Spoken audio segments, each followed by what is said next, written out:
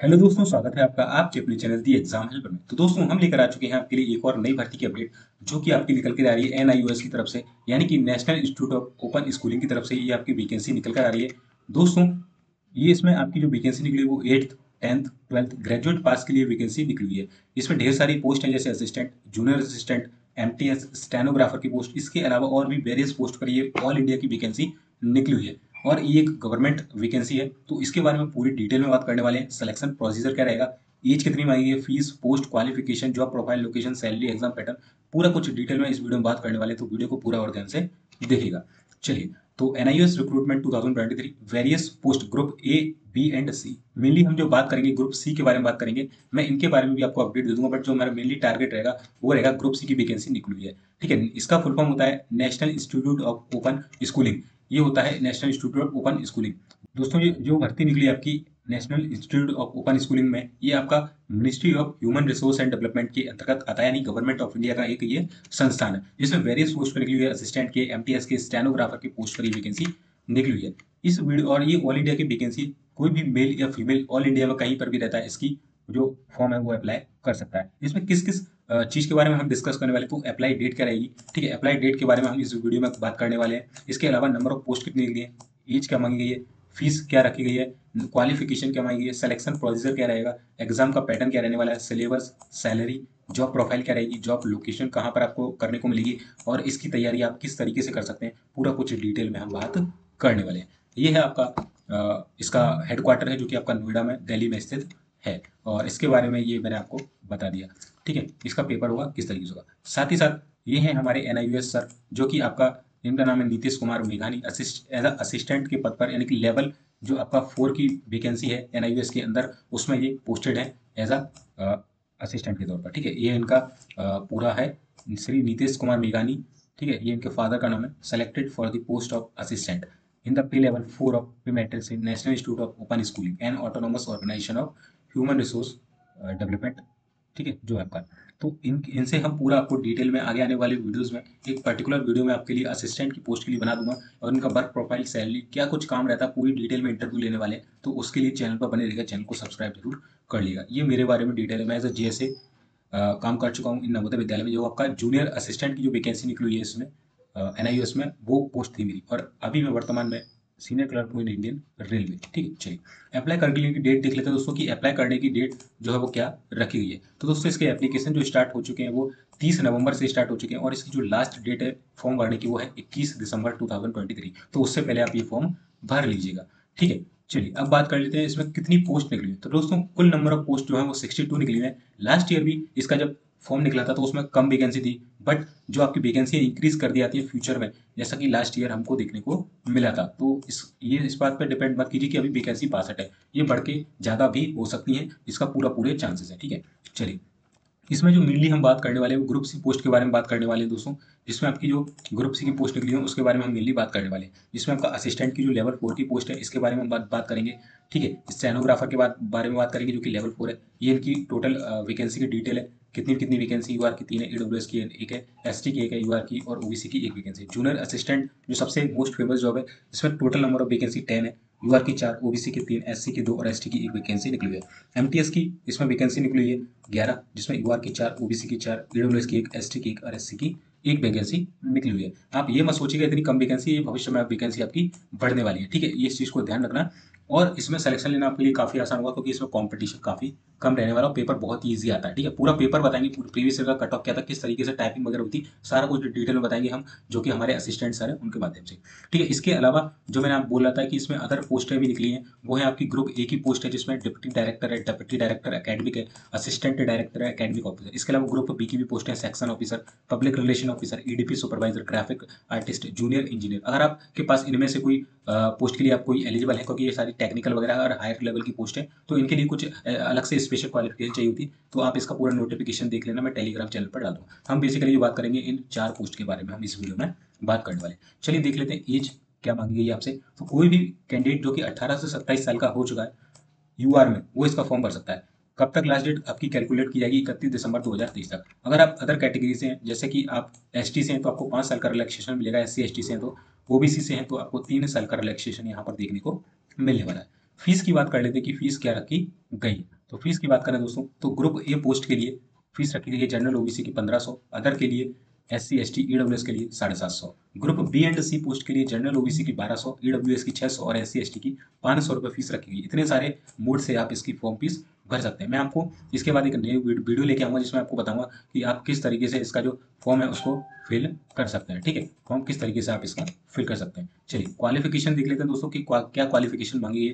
तो twelfth pass मांगी गई है आपकी इन तीनों पोस्ट के लिए, जैसे जो है आपकी असिस्टेंट की स्टेनोग्राफर की और आपकी जूनियर असिस्टेंट की पोस्ट के लिए। बाकी जो एमटीएस की पोस्ट है, इसमें केवल और केवल एट्थ पास यानी कि प्राइमरी स्कूल अगर आपने पास कर रखा है तो आप इसका फॉर्म भर सकते हैं। चलिए, अब इसका थोड़ा अगर एक्स्ट्रा चीज़ें देख लेते हैं कि क्या क्या एजुकेशनल जो है एसेंशियल है क्या क्या आपको पास होना चाहिए। तो पोस्ट ऑफ़ असिस्टेंट यानी कि लेवल फोर की जो पोस्ट है, उसमें आपको क्या होना चाहिए? ठीक है सैलरी आपको इन हैंड अब मैं बाद में बताऊँगा, ये किसकी रेंज है इसमें बट ये सैलरी नहीं होती एक्चुअल एक्चुअल आपको अलग मिलेगी जो आपको इस वीडियो के लास्ट में मैं बताने वाला ये जिसकी सत्ताईस साल रखी गई ठीक है आपको दिख रहा होगा यहाँ पर।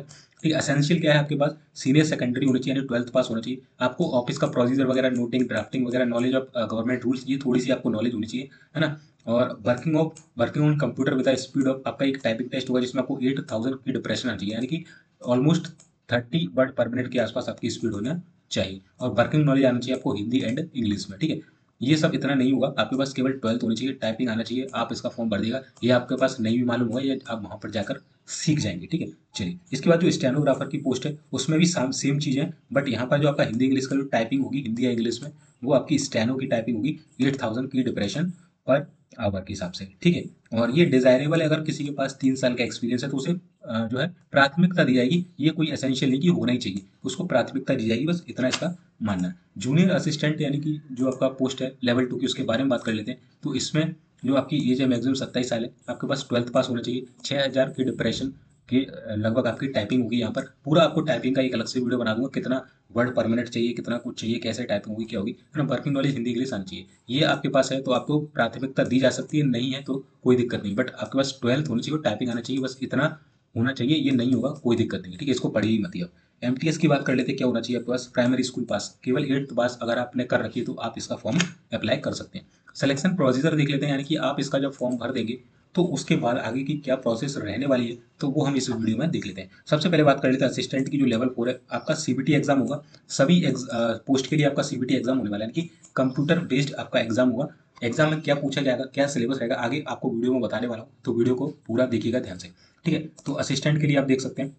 सीबीटी एग्ज़ाम होगा उसके बाद एक आपका एक टाइपिंग टेस्ट होगा जो कि क्वालिफाइंग होगा उसके नंबर वगैरह नहीं मिलेगी, केवल आपको टाइपिंग पास करनी है। और अगर आप पास कर लेते तो आगे आगे आपको डीबी के लिए डॉक्यूमेंट वेरिफिकेशन के लिए भेज दिया जाएगा और आपका फाइनल सिलेक्शन हो जाएगा। सेम रहेगा स्टैनो में, यहाँ आपकी स्टैनो की जो टेस्ट है वो रहेगा और ये भी क्वालिफाइंग रहेगा, उसके बाद डीबी होगी final selection junior assistant same है, इसके बाद पेपर होगा टाइपिंग होगी डीबी होगा फाइनल सिलेक्शन सबसे मोस्ट जो है वो एमटीएस केवल पेपर हुआ डीबी होगा फाइनल सिलेक्शन हो जाएगा। यहाँ टाइपिंग वगैरह कोई भी चीज़ नहीं मांगी आपसे। अब चलिए बात कर लेते हैं एग्ज़ाम पैटर्न क्या रहेगा सिलेबस क्या रहने वाला है इसका। तो सबसे पहले हम जूनियर असिस्टेंट का देख लेते हैं कि क्या कुछ हमारा पैटर्न रहने वाला है, क्या कुछ सिलेबस रहने वाला है। तो एमसीक्यू टाइप आपके पेपर आने वाले हैं, ठीक है? और ये सीबीटी हुआ यानी कि कंप्यूटर पर आपका टेस्ट लिया जाएगा ऑब्जेक्टिव फॉर्म में। इसमें आपका जनरल अवेयरनेस से चालीस क्वेश्चन पूछे जाएँगे, चालीस मार्क्स के। टोटल टाइम आपका तीन घंटे का पेपर हुआ है रीजनिंग के पचास क्वेश्चन पचास मार्क्स के। मैथ्स के पचास क्वेश्चन पचास मार्क्स के। इसके अलावा हिंदी इंग्लिश का टेस्ट रहेगा। है ना? हिंदी या इंग्लिश, में से कोई आप एक लैंग्वेज चूज़ कर सकते हैं, जो कि आपका बीस क्वेश्चन रहेंगे, बीस मार्क्स के और आईसीटी यानी कि कंप्यूटर इसको आईसीटी को बोलते हैं कंप्यूटर ठीक है? Information of communication and technology इसको बोलते हैं, है ना? ये होता है कंप्यूटर तो बीस मार्क्स का आपका कंप्यूटर आने वाला है, बीस क्वेश्चन बीस मार्क्स के। टोटल एक सौ अस्सी क्वेश्चन रहेंगे, एक सौ अस्सी मार्क्स आपको दिए जाएँगे। ड्यूरेशन आपका रहेगा तीन घंटे का। दोस्तों जूनियर असिस्टेंट या असिस्टेंट के लिए या स्टेनोग्राफी या एम सभी के लिए जो सिलेबस है वो ऑलमोस्ट सेम है। तो आपको हम तैयारी कराने वाले हैं बेहतरीन तरीके से, जिस तरीके से हम अभी ई एम आर एस जैसे के लिए एन बी जैसे के लिए के जैसे के लिए तैयारी करा रहे हैं। ठीक है? और कंप्यूटर को मेरे द्वारा पढ़ाया जाता है। आपको बहुत शानदार तरीके से आप जाके अभी देख सकते हैं। हमारा सेकंड चैनल है the exam helper G K ठीक है? लास्ट में जी के जोड़ देना तो आपको मिल जाएगा। वहाँ पर हमारी क्लासेस चलने वाली। मैथ्स सर पढ़ाते हैं जो कि नीतीश सर हमारे एन आई है। वो पढ़ाते बिल्कुल फ्री में पढ़ाते हैं। आपसे एक रुपये चार्ज नहीं किया था। तो उस चैनल को सेकंड चैनल को ज्वाइन कर लेना। नीचे लिंक आपको डिस्क्रिप्शन में मिल जाएगा सेकंड चैनल के नाम से। ये सारा कुछ हम आपको वहाँ पर कवर कवर करा देंगे। ठीक है? एन सर आपको खुद पढ़ाएँगे मैथ्स तो पचास मार्क्स का आने वाला सोच लीजिए काफ़ी। और उनको उनको पूरा मालूम है किस तरीके से क्या पेपर आता है। ठीक है? ये इसका पूरा ओवरऑल सिलेबस क्या क्या इसमें डिटेल में आने वाला है, अंदर कौन कौन से टॉपिक्स वगैरह आएँगे तो ये मैं आपको टेलीग्राम पर डाल दूँगा अपने, जिसका नाम है द एग्ज़ाम हेल्पर वहाँ से आप इसे अपील कर सकते हैं। स्किल टेस्ट होगा जो कि मैंने आपको बता दिया, किस तरीके से होगा कि working on computer with speed of not less than six thousand key depression per hour ठीक है, इसका मैं अलग से एक वीडियो बना दूँगा किस तरीके से आपका स्किल टेस्ट होगा। ये क्वालिफाइंग नेचर है, इसके नंबर आपके नहीं जुड़ने वाले, इस चीज़ को ध्यान रखिएगा। स्टेनोग्राफर की बात कर लेते हैं स्टेनोग्राफर में क्या क्या पूछा जाएगा? तो जनरल अवेयरनेस से चालीस क्वेश्चन चालीस मार्क्स के रीजनिंग से पचास क्वेश्चन पचास मार्क्स के मैथ से पचास क्वेश्चन पचास मार्क्स के और हिंदी इंग्लिश वही बीस क्वेश्चन बीस मार्क्स के कंप्यूटर के बीस क्वेश्चन बीस मार्क्स के, वही एक सौ अस्सी क्वेश्चन एक सौ अस्सी मार्क्स तीन घंटे दिए जाएँगे। वही सिलेबस आपका यहाँ दिया हुआ है। इसमें क्या होगा, बस स्टेनो की शॉर्ट हैंड आपका जो आपका टाइपिंग टेस्ट होगा, बस इतना सिंपल है। इसके बाद फिर से अगर हम देखें तो यहाँ पर आपका फिर से क्या होने वाला है?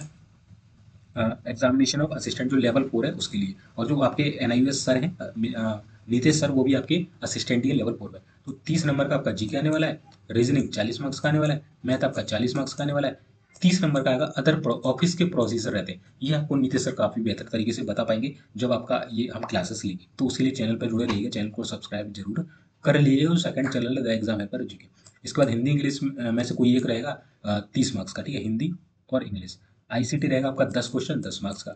चलिए, ये आपका डिटेल में सिलेबस है, जो आप देख सकते हैं और आठ एट थाउज़ेंड की डिप्रेशन का इसमें टाइपिंग टेस्ट आपका रहने वाला है। ये आपका एम का पेपर है। MTS का तो बस पेपर ही बना तो कुछ बना नहीं है। जी के आएगा पचास क्वेश्चन पचास मार्क्स तो जीके की बहुत जो है यहाँ पर वैल्यू रहने वाली है सभी एग्ज़ाम में तीस चालीस चालीस मार्क्स का। तो जीके आपको मेरे द्वारा पढ़ाया जाएगा और उसी में से डायरेक्ट आपको क्वेश्चन देखने को मिल जाएँगे। के में मैंने पढ़ाया था डायरेक्ट वहाँ से क्वेश्चन उठ के कैंडिडेट्स को मिले थे, ठीक है? चलिए रीजनिंग आपको पचास क्वेश्चन पचास मार्क्स मैथ तीस क्वेश्चन तीस मार्क्स हिंदी इंग्लिश तीस क्वेश्चन तीन मार्क्स और डिजिटल लिटरेसी बेसिकली कंप्यूटर का ही नाम दे दिया गया है डिजिटल लिटरेसी और कुछ नहीं, बीस क्वेश्चन बीस मार्क्स के रहेगी। टोटल एक सौ अस्सी क्वेश्चन एक सौ अस्सी मार्क्स तीन घंटे। सभी का लगभग एग्ज़ाम पैटर्न ऑलमोस्ट सेम ही अगर आप एक का फॉर्म भरते हैं मतलब सभी का फॉर्म भरते हैं केवल आपको तैयारी एक ही करना है, क्योंकि सभी का ऑलमोस्ट सेम बस नंबर का चेंजेस है इसमें। ठीक है, चलिए।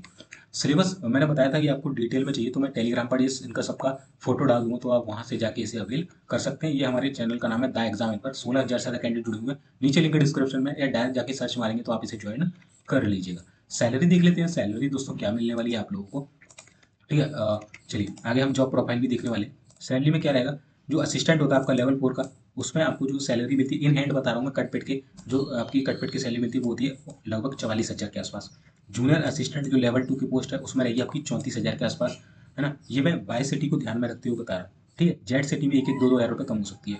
स्टेनोग्राफर की बात करें तो इन हैंड आपकी सैलरी रहेगी चवालीस हज़ार, क्योंकि लेवल फोर की पोस्ट है। एमटीएस लेवल वन की पोस्ट है, इसके लिए इसकी सैलरी रहेगी तीस हज़ार के आसपास, ठीक है? तो ये आपको इनहैंड सैलरी मिलने वाली तो सैलरी काफ़ी अच्छी होने वाली दोस्तों। और आगे मैं आपको सैलरी स्लिप प्रोड्यूस करने वाला हूँ, जो हमारे एन आई सर हैं, उनकी डिटेल में बताएँगे कि कितना क्या उनको पैसा मिलता है, किस तरीके से सैलरी आपकी बनती है क्या क्या आपको बेनिफिट्स मिलते हैं अलग से। पूरा आगे हम देखने वाले हैं, आगे आने वाले हमारे वीडियोज़ तो उसके लिए चैनल पर सब्सक्राइब ज़रूर कर लेना।